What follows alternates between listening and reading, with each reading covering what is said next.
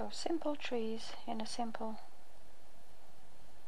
bluebell wood setting. Wet paper sort of slightly damp. Mixing the colours on the paper, see what happens. In a natural trunk shape and splatter on the top. This is dry. A little bit of Aureolin, which is transparent yellow. Water, join up the dots. Cobalt blue.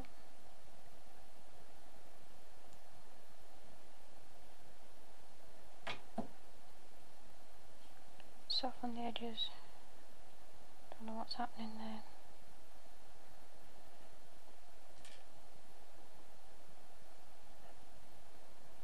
Mahl stick if you're not very good with your finger. Keeping a steady hand.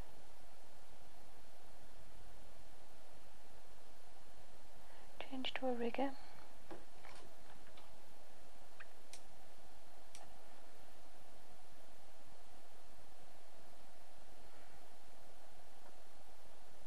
Let the brush do the dancing. Started to split here now, that's quite nice. Going out towards the light. This is just bits of greys from the corner of the palette. Okay, next branch is going to come somewhere up there.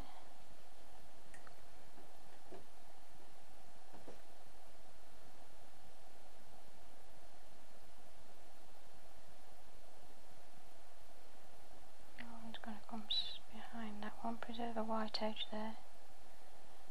So I'm controlling the flow. Soften this.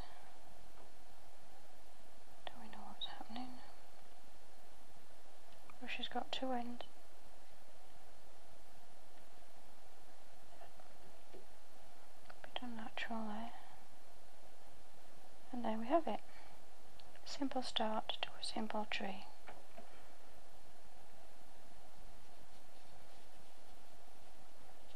And you can go on to make it as detailed or impressionistic as you like.